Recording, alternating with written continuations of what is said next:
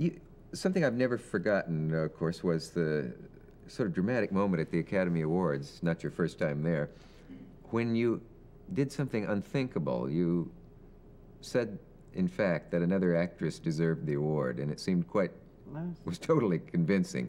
If it wasn't true, then you deserve another award for your performance there. But, uh, no, I was very sincere because I had done Murder on the Orient Express, and it was just that one little scene. Mm -hmm. Now, Sidney Lumet, who directed it, uh, was very clever, or, or, shall I say, kind to me, because he stayed with the camera on my face all through that scene.